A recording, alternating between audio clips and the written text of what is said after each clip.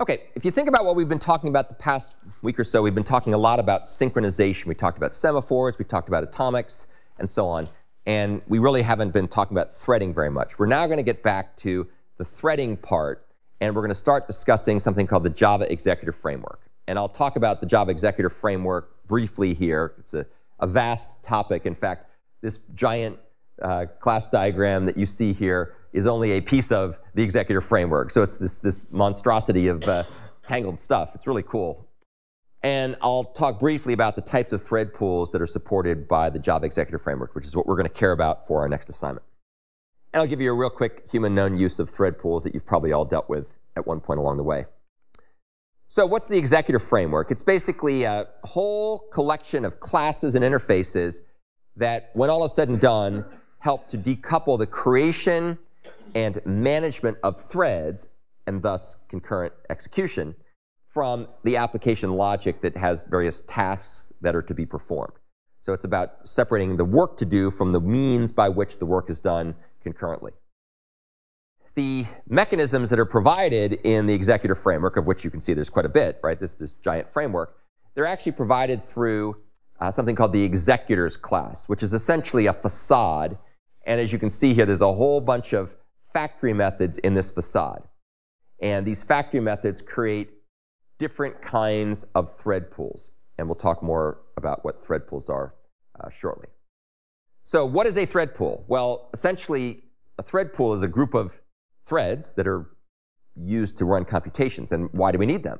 And the reason we need them is because concurrent programs often, though not always, have to handle a large number of clients. So imagine a, a high performance web server that's got thousands of client requests that are being processed simultaneously. Spawning a thread for each client doesn't really scale, right? You'll end up with just an unbelievably large number of threads. And um, so that the reason it doesn't scale is because you end up having lots of overhead to try to keep track of all the threads.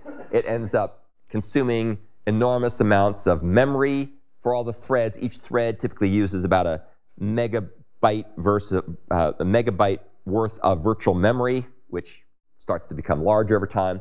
And so you'll typically run out of uh, threads if you make a new thread for each client request. So instead of doing that, a better way to do things is often to have a pool of threads, and that allows you to scale up the performance better. And why it works is because it amortizes the memory processing and uh, memory and processing overhead that are associated with spawning a thread for each request. How big the pool should be depends on various factors. Predominantly depends on how many cores you have, A, and what kind of workload you're doing, whether it be CPU bound or uh, IO bound. And if you read this article, I believe it's an article by Brian Goetz, where he gives you a little formula for computing uh, what the size of the thread pool should be as a heuristic. The Java Executor Service Framework has several types of thread pools that it supports. It has what's called a fixed size pool, where you have a fixed number of threads you create when you make the pool. And then when you execute the request, when you, you give work to the pool, if you have more work than there are threads in the pool, they're simply queued up to be run when one of the threads in the pool is available to do something new. Another kind of pool is what's called a cached thread pool. As you can see, you say new cached thread pool. You don't give a number to begin with.